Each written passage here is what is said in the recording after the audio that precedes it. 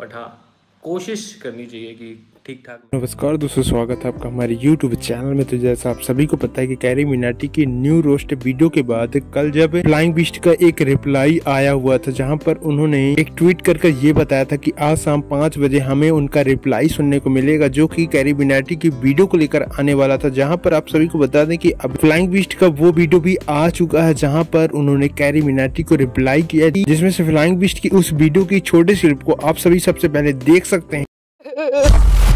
क्या नोटंकी है यार? वो देश का धोनी और तू देश की अनोनी। यूज़ करिए भाई। धोनी को फ़र्क भी नहीं पड़ा साइकिल चलाने से क्या होगा? आजकल कंटेंट के लिए कुछ भी करते हैं। फिर से अगले साल साइकिल चलानी पड़ेगी। साइकिल से दिखाने के लिए थी। क्या फालतूगिरी कर रहे यार ये? भाई अब बहुत ज़्यादा हो गया। धोनी तो रिटायर ही नहीं हो रहा।